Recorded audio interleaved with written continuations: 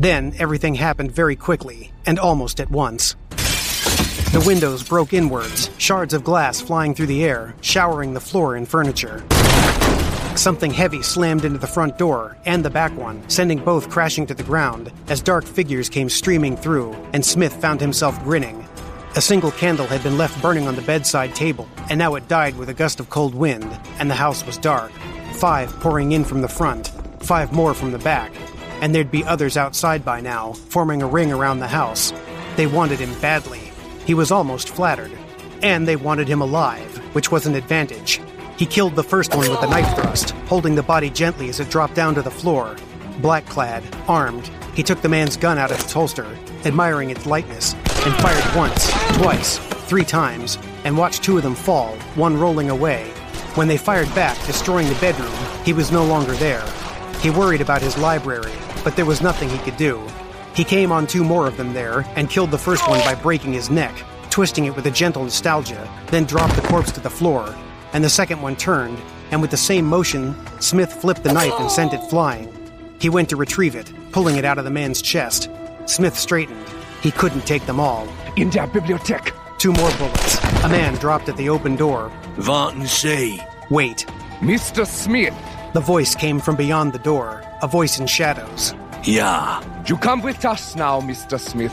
No more play. The voice spoke good English, but accented. It was young like the others, a fully trained extraction team, but too young, and they did things differently these days. Don't shoot. You are late for an appointment arranged a long time ago. Smith smiled. Take them. There was the sudden sound of gunfire outside. Heavy gunfire. Smith ran, jumped, dived out of the broken window. The whistle of something flying through the air, entering the room he had just vacated. He rolled and covered his head. And there was a booming thunder as he felt fragments of wood and stone hit his back and his legs, and the night became bright momentarily. When it was over, he raised his head, looked. The old lady from M's, the lace and china shop, was standing with her hair on edge. A manic grin spread across her face.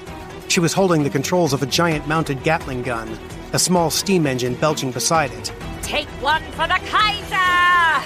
A torrent of bullets exploded out of the machine like angry bees, tracer bullets lighting up the night sky as M screamed soundlessly and fired, mowing the black cloth attackers as though they were unruly grass. Spies, Smith thought, trying to make himself as small as possible. They'll take any excuse to let their hair down. The firing stopped, and then someone was beside him, grabbing him. He turned and saw Verloc from the bookshop, grinning at him. The first time, perhaps, he had ever seen him look happy. Come on! He pulled Smith, who stood up and followed him. The two men ran across the cabbage patch, over what was left of the fence, which wasn't much, and into the field beyond. Smith could hear a second round of shooting. His poor house. Number six would never be the same again after this. He should have taken care of this business on his own. Well, too late now. Turning, he saw Colonel Crichton, the Baroness by his side, going through the garden and into the house. The colonel armed with a curved kukuri knife, the Baroness less ostentatiously with a couple of small caliber elegant handguns, one in each hand. He raised his head and saw floating above the house a long, graceful black shape, an airship. Don't let it get away. Shall we? yeah, let's.